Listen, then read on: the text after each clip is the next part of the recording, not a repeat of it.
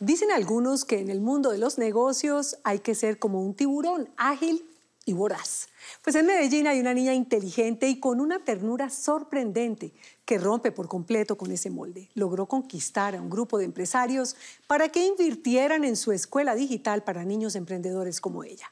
Héctor Córdoba recibió lecciones de esta niña que sueña con cambiar el mundo.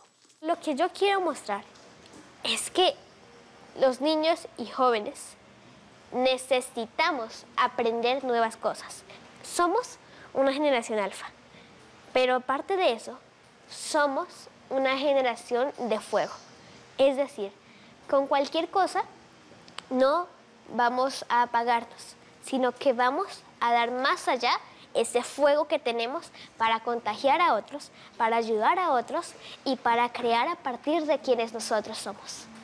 Escuchar a Alison Avendaño con esa llama encendida, hablando de empresas, de emprendimiento, de marketing digital, de cambiar el mundo. Es difícil de creer. Es que habla con tanta lucidez que uno queda con la boca abierta. Esta niña tuvo la valentía para creer que se podía soñar en grande. Realmente empezamos con pasos pequeños, como la educación desde casa.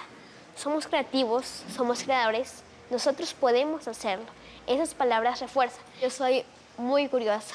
Y en sí, todos somos curiosos en algún momento. Lo que hay que hacer es curioso con sabiduría. Con solo 11 años, un metro cincuenta de estatura, un carisma que envidiaría cualquier empresario, Ali, como la conocen en el mundo digital, es la directora ejecutiva de Digital School, una innovadora escuela para emprendedores entre los 7 y 14 años, con más de 150 estudiantes en Colombia, Estados Unidos y Europa.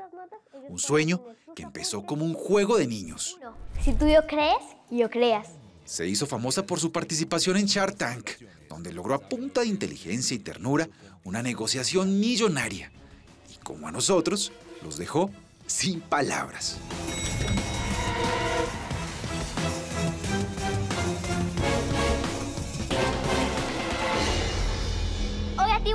Nombre es Ai, tengo 10 años y soy CEO de Digitaya School. Nos contactaron de Shartan, Colombia. Dijeron, hola, queremos que participes en el programa.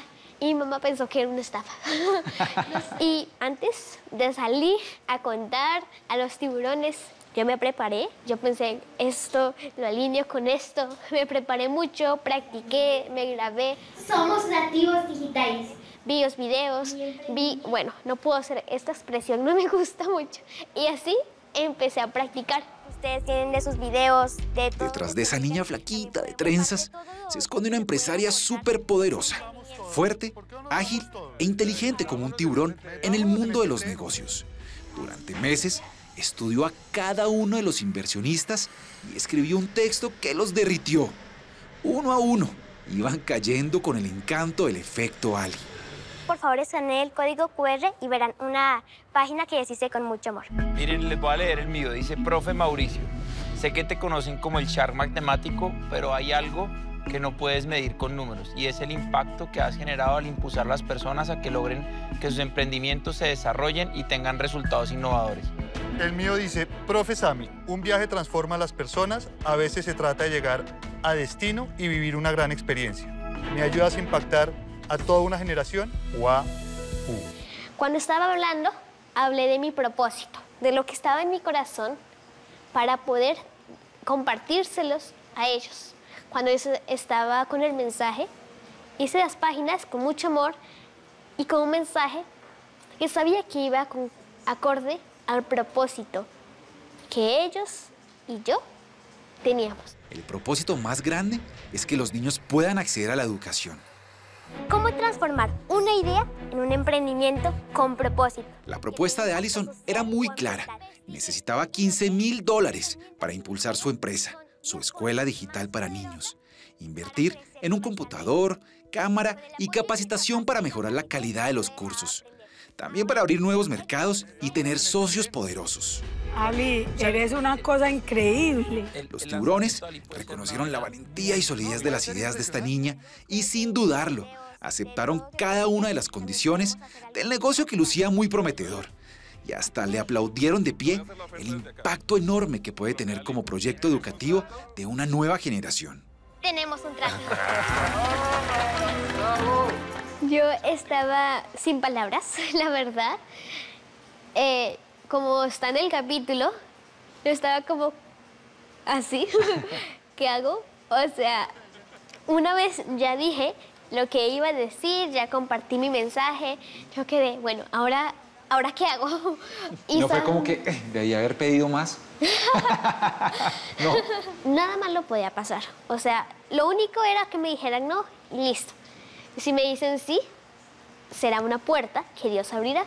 Alison nació en Villavicencio, pero sus papás se mudaron hace unos años a Medellín. Creció en una familia muy creyente y unida, junto a Emanuel, su hermano menor. En su casa se respira un ambiente amoroso y feliz. Desde pequeña era distinta a los demás. Realmente estaba movida por el mundo de los negocios. Vendía desde pulseras de papel hasta buñuelos, demostrando ese espíritu emprendedor. Lejos estaba de pensar que esa idea infantil se convertiría más temprano que tarde en su proyecto de vida y en el de toda la familia. Hoy en día, Allison lidera con éxito su propia empresa y es incluso la jefa de sus papás. Yo creaba manillas de papel o manualidades de papel, era algo que me encantaba. Y aunque no vocalizaba bien y era muy tímida, yo había prestado el celular a mi mamá, cogía el celular, me grababa enseñando a hacer manillas. Luego, ya a mis ocho años, tuve un emprendimiento de buñuelos, Ali Buñuelos se llamaba, y ahí empecé a descubrir que me gustaba esta parte de administración, de negocios.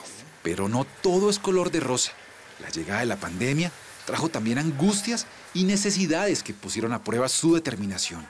Sus papás eran emprendedores como ella, pero fracasaron. Estás hermosa, mi amor. Ellos intentaron reinvertir. Así que hicieron un negocio de frutas y verduras. Ahí estuvieron por un tiempo, pero luego ya todo lo estaban haciendo. Entonces quebraron aún peor. Yo veía a mi mamá llorar, yo veía a mi papá preocupado y yo tenía las ganas de poder hacer algo nuevo. Hasta en un momento me acuerdo que le dije, se tendrán que invertir más cifras para contar todo lo que Dios nos va a dar. Lo que sueño desde ya es poder impactar. Entre la angustia y el desespero, encontraron en ese mundo de Internet lleno de tanta basura cibernética y cursos que prometen la salvación, una capacitación en ventas digitales, una apuesta muy arriesgada donde invirtieron todo lo que tenían. Vendimos el carro, que era lo único valioso que nos quedaba, y compramos un computador y un entrenamiento profesional para capacitarnos. Y era algo que ni siquiera conocíamos. O sea, mis papás nunca habían vendido algo digital. Yo no conocía de eso. Y mi mamá fue a quien le apareció un anuncio de un entrenamiento profesional. Y pensamos, ¿lo hacemos? ¿No lo hacemos? ¿Qué hacemos? No había otra opción. La única opción que teníamos era o aprender o aprender. No había plan B solo teníamos ese plan o si no, pues no habría servido de nada haber hecho todo el proceso que hicimos. Y aunque el curso era inicialmente para sus papás, Ali terminó explicándoles las clases y absorbiendo como una esponja el conocimiento de ese entrenamiento. La posibilidad de ser atacado por un tiburón es de una entre 3.7 millones, casi las mismas que tiene un emprendedor de ser exitoso y no morir en el intento. Todo lo que aprendió Ali se dio cuenta que era buena para enseñar y se inventó un curso virtual de emprendimiento para niños. Empezó desde un programa para poder impulsar las ideas, los sueños, talentos de los niños. Se llamaba mi primer programa La Fábrica de Sueños. Y aquí enseñaba cómo impulsar sus ideas en emprendimientos con propósito para poder apoyar los talentos de mi generación. Que es ayudar a muchas personas. Muy rápido, creó su propia escuela virtual. Nos vemos en la próxima clase. Ali es una niña muy especial y su rutina diaria comienza muy temprano en la mañana en un espacio que llama de oración. A las 8 recibe clases virtuales del colegio. Está en séptimo de bachillerato. A las 10 prende su computador, una pequeña luz LED y su cámara para darle clase a sus estudiantes. Bienvenidos, estoy muy emocionada de compartir con ustedes. ¿Cómo funciona la escuela, Alice? Es un proceso completo. Empezamos desde las bases, lo que necesitamos en nuestra vida y en nuestros negocios, inteligencia emocional, estamos con una psicóloga que nos ayuda con esa parte. Tenemos, cuando empiezan a construir su marca, la identidad visual, las herramientas digitales, crear sus propias páginas web para que den a conocer lo que ellos hacen y hemos invitado a diferentes expertos para que nos expliquen ciertas áreas. No solo el propósito de nuestro emprendimiento. Niños que aprenden con una niña gigante. Porque lo principal que necesitamos para crear nuestra marca, aparte del propósito que ya tenemos, también es el diseño visual. Uno habla con usted y siente que está hablando con una empresaria ya con muchísimo recorrido. ¿Por qué es importante que un niño aprenda de emprendimiento, que un niño aprenda de negocios? Primero, emprender no es iniciar un negocio, es iniciar algo nuevo en lo que sea. Sé que mi generación a esa edad nos estamos divirtiendo, estamos jugando y eso es lo que yo quiero, que juguemos, aprendamos, nos divirtamos y gocemos esta parte a través de impulsar lo que nos gusta. No tiene televisión, tampoco va al cine. Prefiere salir con su familia, jugar con su hermano, dibujar y leer. Su lugar favorito es la biblioteca pública de su barrio, un océano de conocimiento, a donde no duda en invitarnos. Aquí rodeada de libros, se siente como pez en el agua, o más bien, como un pequeño tiburón. Mm, Si estoy en una biblioteca, busco eh, finanzas. Usted llega a Shark Tank Colombia buscando qué? Primero, los quería a ellos como inversionistas. Ajá. Es decir, la experiencia que ellos tienen para mí es lo más valioso. Más allá de las cifras, más allá de eso, era poder tener su experiencia. Luego, ya con el capital, poder impulsar el crecimiento digital y school. Yo quiero tener un socio que esté comprometido y quién mejor que ustedes. Venga. Entonces me gustaría Loco, tenerte a largo plazo ¿Por qué en no este nos vamos todos? Metámonos en este tren, hombre. ¿Y cree que ella es una pequeña tiburona? ¿O todavía le falta muchísimo? Siempre estoy aprendiendo. Estoy en constante aprendizaje, soy eterna aprendiz y sí, tengo una experiencia, pero sé que puedo obtener mucho más y puedo seguir aprendiendo de otros. Como los tiburones, tiene el olfato muy desarrollado. Pero para los negocios, su participación en el programa, sus ideas revolucionarias y las cientos de miles de reproducciones de su video en YouTube la convirtieron en figura pública. En sus redes sociales la siguen miles de personas. video te quiero mostrar una super plataforma Además de estudiar y enseñar, también da charlas en colegios, universidades y empresas donde siempre aplauden sus ideas. Imagino que el tamaño de sus sueños son enormes, como esa sonrisa que tiene. Cuénteme con qué sueña, Alice. Sueño con ver un mundo renovado. Sueño con poder también dejar mi huella y poder cambiar esas cosas. Sueño con que Digital School crezca más. Sueño con ser mejor persona cada vez. Sueño con que las familias puedan ser más unidas. Lo que me define es que soy creativa, es que soy importante, es que soy única, porque esa es mi identidad. Es que yo lo que quiero es impactar, motivar, inspirar de la mano de Dios. Eso es quien soy. Ojalá los que vivimos en el mundo de los adultos pudiéramos ver lo más parecido al de Ali, para estar a la altura de una niña de una especie diferente, que como los tiburones, está en peligro de extinción.